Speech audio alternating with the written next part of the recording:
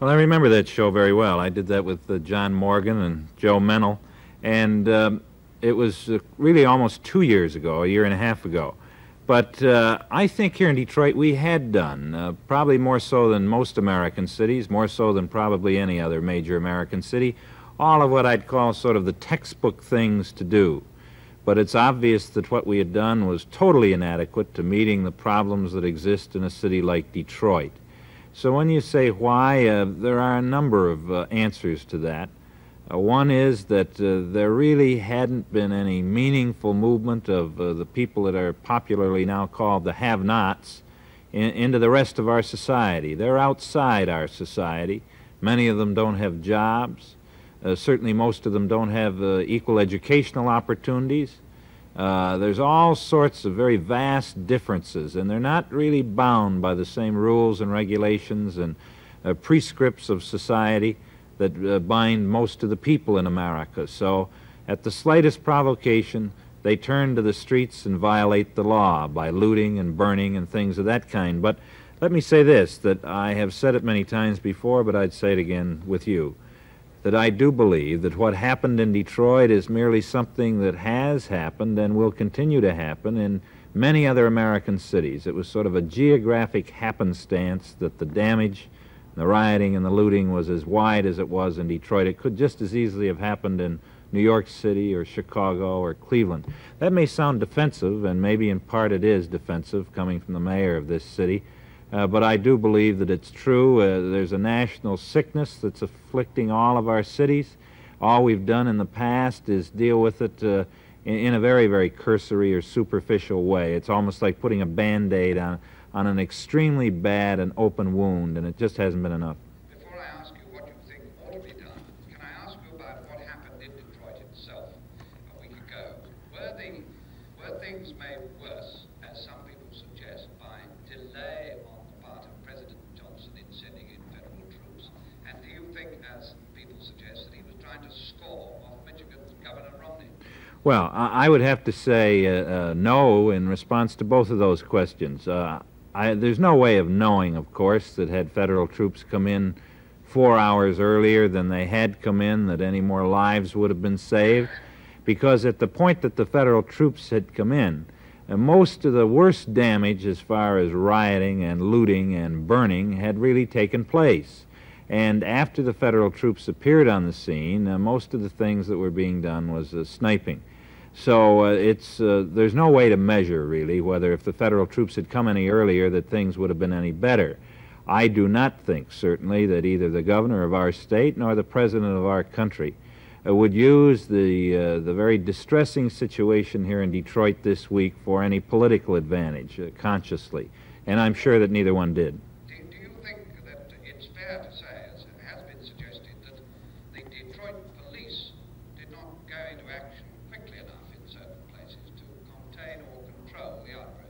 Uh, no, I don't believe that that's fair to say. I think that uh, probably the easiest thing for anyone to do today, including myself and others, is to render judgments on uh, what happened out on the streets a week ago and on decisions that were made in the heat of battle, so to speak.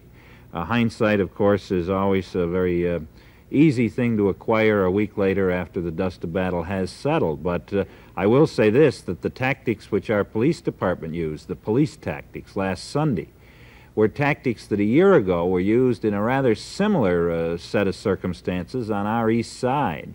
And as a result of the use of this restraint and order and reason, uh, our police department was not only praised throughout this community, but praised throughout the country. Now, the same tactics were used Sunday morning a week ago, and obviously they failed to work, and the mob just overwhelmed in numbers our police department. Uh, there are a lot of factors involved, uh, reasons for that, certainly one of them being that the lowest point of police protection in this city, or any American city for that matter, is always Sunday morning. It's like our Pearl Harbor because our defenses are the weakest.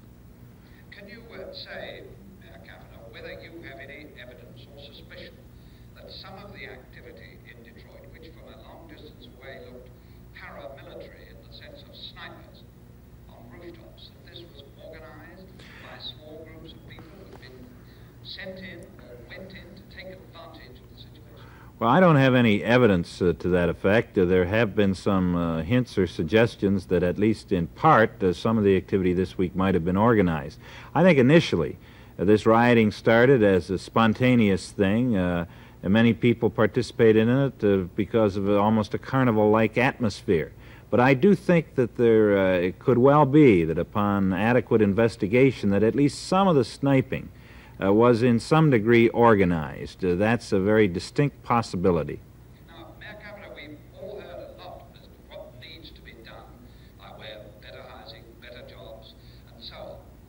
But who is responsible for doing this? Because it seems to me that you, as mayor of a great city, have all the problems, but you have nothing like enough power under the American system. Well, that's exactly right. We have the uh, problems, and uh, in many instances we have the power, but we don't have the resources, the financial resources. The resources, the public resources in this country, are uh, either in the state government or principally the federal government. The state governments traditionally have ignored the needs of the urban areas, not just in this state, but practically every state in the Union. And the federal government has only dealt with these things in a very half-hearted manner. So I would lay the public blame principally uh, at the feet of the Congress of the United States because there are numerous programs which our president and the administration have proposed. Uh, many of them, uh, uh I'd have to admit, are inadequate. But even so, they've proposed them, and the Congress has no disposition whatsoever to act on them. As a matter of fact, and, and, it's a strange thing, and it's a most distressing thing to many of us uh, here in the American cities, that the Congress, the reaction of the Congress is to pass stricter riot control bills, assuming that uh, prohibitive measures such as that are going to eliminate riots in the future. It's just absurd, and, but they're reflecting to some degree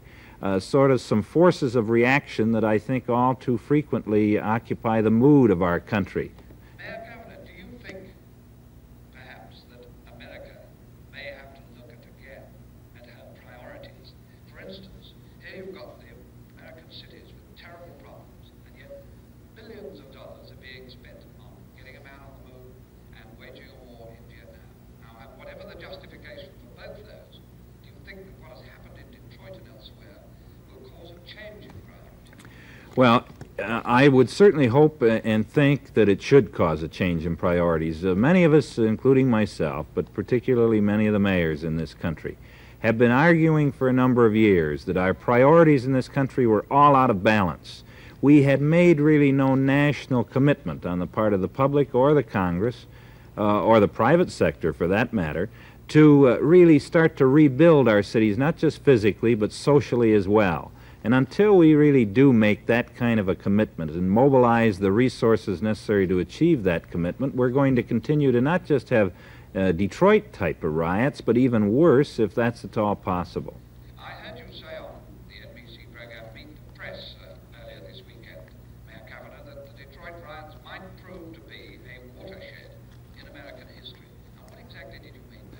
Well, I mean that uh, we can, uh, it's really a turning point in uh, the American view toward the problems of cities and toward our whole uh, problems in relation to uh, race relations.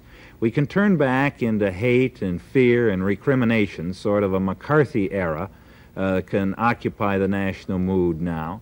Or we can use this as a very agonizing and bitter lesson to plunge ahead much more aggressively uh, into the future as far as funding the programs that are proven to be good uh, that we already have, funding them in a realistic and adequate way, and defining really new dimensions uh, and new directions uh, for approaches to the solutions of these problems. May I ask one final question? Yes, surely.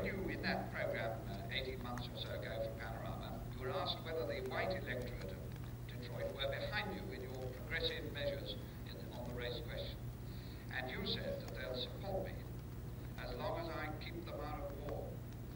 Now that uh war in the metaphorical sense has happened, do you think that you're going to lose the support of the white electorate, who may be disillusioned with the progressive measures which have not succeeded in detail?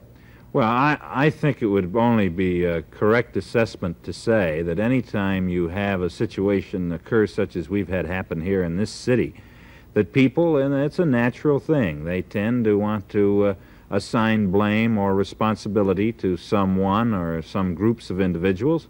And uh, the man that's in the job of mayor, he receives the accolades when things go wrong, and when things don't go wrong, he has to uh, receive uh, the denunciation as well. So what I'm saying is that I'm not sure that uh, all of the white electorate, certainly if I was to ever stand for office again, would desert me, but I'm sure that many of them are not as enthusiastic about me as they might have been in the past. Mayor Cavanagh, thank you very much for giving up this, these uh, minutes of your time and such a busy moment for you. Thank you. hmm